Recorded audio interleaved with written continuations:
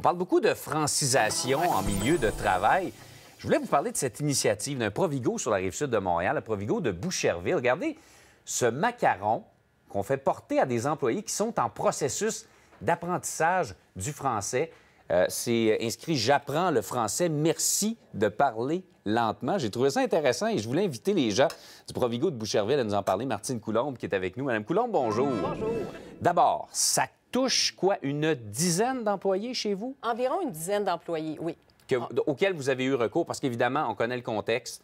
Pénurie de main-d'œuvre, euh, on manque de monde. C'est des gens qui viennent de, de- de tous les horizons, qui viennent d'autres pays? Absolument. Euh, ça a commencé avec, euh, en fait, on a eu une famille d'Ukrainiens qui sont arrivés. OK. Et très rapidement, on a réalisé que ils ne parlaient pas français. Ouais. Donc, euh, les applications de traduction, on a mimé, on a baragouiné, on a, on a vraiment essayé de communiquer avec eux. Euh, soit dit en passant, un an et demi plus tard, ils parlent très bien français. OK. Et euh, quand la TUAC, qui est euh, notre syndicat Ouais. Provigo, Travailleurs unis de l'alimentation. Exactement. Nous a offert un, un programme de francisation pour ces gens-là. On a, on a embarqué. Et là, là c'est- beau, là, le processus de francisation, mais ça se fait pas en claquant des doigts comme ça. Il faut leur laisser le temps d'apprendre le français. Absolument. Et ils travaillent avec le public. Oui. Donc Mais là, pas, vous- pas tous, parce pas que tous. des fois, là, comme les Ukrainiens, quand ils sont arrivés, euh, c'était zéro français. Donc, on a dit, c'est impossible, on ne peut pas les mettre euh, euh, au service à la clientèle. Donc, on les a placés à des endroits où ils manipulaient des produits, mais qui n'avaient pas nécessairement un contact avec les clients.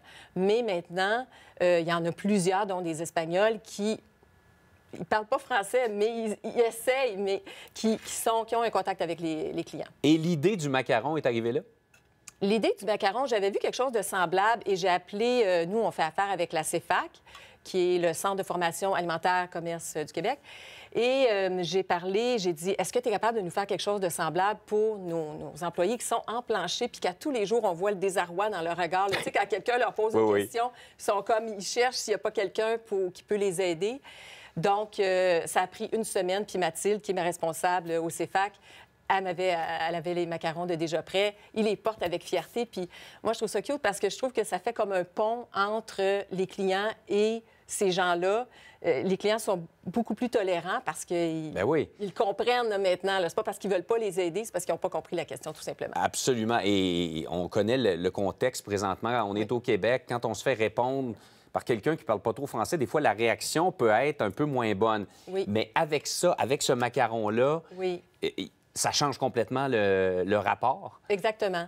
Mais honnêtement, euh, même avant le macaron, on n'a jamais eu, euh, je, je pense que la propriétaire Mona Turbide, elle pourrait dire, elle penserait la même chose que moi. On n'a jamais eu de commentaires désobligeants ou, ou pas gentils de la part des clients. Je pense qu'ils ont compris qu'au Provigo, on avait rénové, on avait des nouveaux, départements. Ça nous prenait tellement de, nouveaux personnels qu'on n'avait pas. On n'a pas eu le choix que de se tourner vers euh, les nouveaux arrivants. Donc, euh, les, gens l'ont vite compris et ils ont été gentils quand même. Mais le macaron, c'est un petit plus, c'est un petit pont.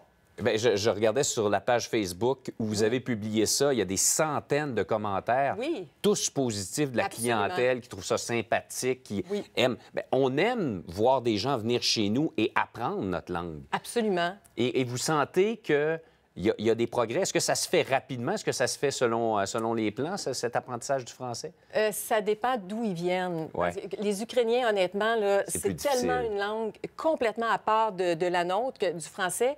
C'est très difficile. Les Espagnols, euh, ceux qui parlent espagnol, c'est plus facile. Puis des fois, même nous, on ne s'en vient pas pire en espagnol. là. Parce que des fois, ils ne comprennent pas, puis là, on, sort des petits mots. C'est beaucoup plus facile, l'espagnol.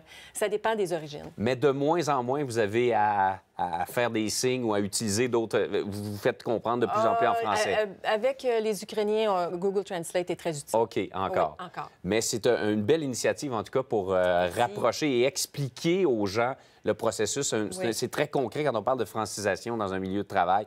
Il n'y a pas plus concret que Je ça. pense que non, c'était ça ou le T-shirt. On a opté pour les macarons. C'est plus discret. Hey, merci beaucoup d'être venu nous en parler. plaisir, merci. Au revoir. Bye.